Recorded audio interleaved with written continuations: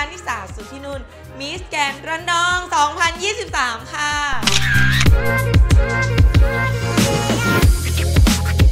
ก่อนหน้านี้ก็คือยานี้เป็นคนที่ชอบเดินสายประกวดค่ะ แล้วก็เดินบนเวทีเป็นชุดว่ายน้ำและเห็นคนอื่นนะคะมีหน้าอกแล้วก็รู้สึกมั่นใจ แต่หันกลับมาที่ตัวเองรู้สึกไม่มั่นใจเลยค่ะ ก็เลยเลือกที่จะมาทำศัลยกรรมเสริมหน้าอกที่โรงพยาบาลเลยละค่ะ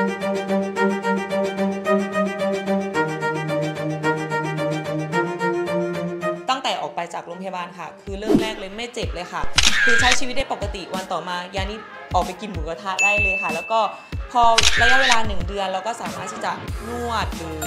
คึงเบาๆได้ แล้วก็รู้สึกว่าหน้าอกก็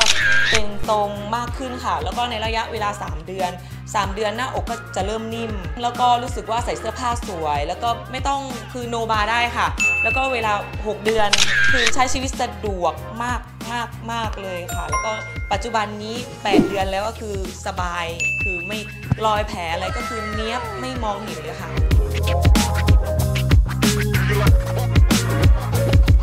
อย่างนี้ก็อยากจะแนะนำนะคะ หรือว่าเชิญชวนใครที่กำลังลังเล หรือว่าสนใจศัลยกรรมเสริมหน้าอกนะคะ ก็อยากจะเชิญชวน เข้ามาทำของโรงพยาบาลเลอรักค่ะ เพราะว่า